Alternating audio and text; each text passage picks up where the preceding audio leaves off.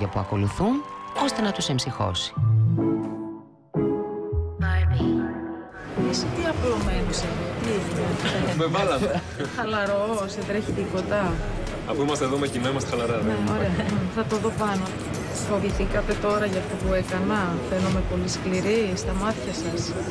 Δεν θέλω καθόλου να είσαστε τρακαρισμένοι. Γιατί ειλικρινά σας λέω ότι καταλαβαίνετε και μόνοι σας ότι για να είσ- είσαστε εδώ προφανώς αξίζετε. Απλώς τώρα είναι από τους 10 πρέπει να περάσουν 4. Δεν έχουμε περιθώριο να βάλω ούτε το πέμπτο, ούτε να κάνουμε τίποτα. Θέλω ο καθένας σας να χαρεί αυτή τη στιγμή, να δώσει ό,τι καλύτερο μπορεί.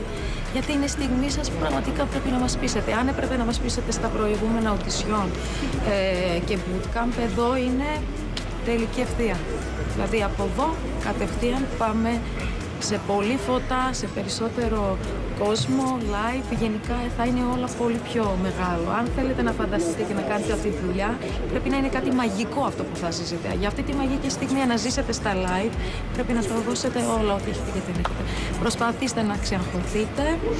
Εγώ φαίνομαι, ξέρω, τρακαρισμένη, έτσι ήμουν πέρσι και προσπαθώ να μην σας περάσει ο άγχος όταν βγαίνετε και σας μιλάω και είναι χαλαρή. Στην ουσία είμαι πάρα πολύ αγχωμένη. Ε, γενικά και για την απόφαση που θα πάρω, πώς θα βγείτε, πώς θα τραγουδήσετε και όλα. Οπότε κάντε το καλύτερο που μπορείτε, αγόρια μου, και πάμε δυνατά, εντάξει. Σας καταλαβαίνω και σας πονάω όσοι θα μείνετε εκτός παιχνιδιού, αλλά θα σας αγαπάω όπως και να έχει και σας εύχομαι καλή επιτυχία και τώρα και στη συνέχεια, εντάξει. Ευχαριστώ πάρα Η Τάμτα προσπάθησε να ξεαγχώσει τα αγόρια της.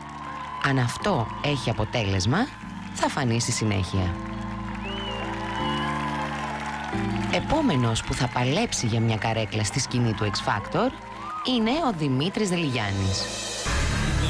Η σημερινή μέρα είναι πολύ σημαντική για μένα. Γιατί από όλους αυτούς που δηλώσανε συμμετοχή, έχω φτάσει στους 40. Πρέπει να δώσω τον καλύτερο.